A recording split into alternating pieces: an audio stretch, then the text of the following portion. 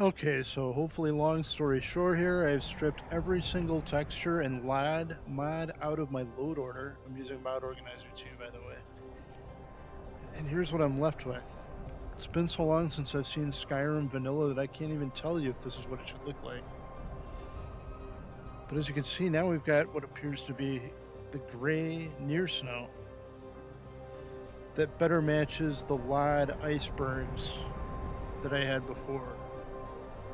So maybe that's matching? Maybe there's something about the white snow that's incorrect? I don't know where that could be coming from. I think I've disabled every texture I was adding.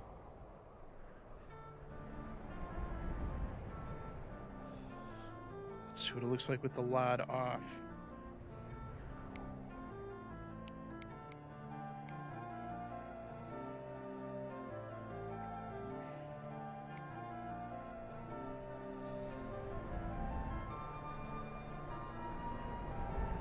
So I would say most of this non-LOD stuff is looking pretty gray, looking like it kind of matches.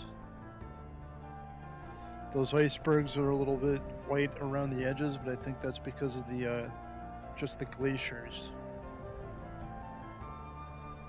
Oh, that's weird.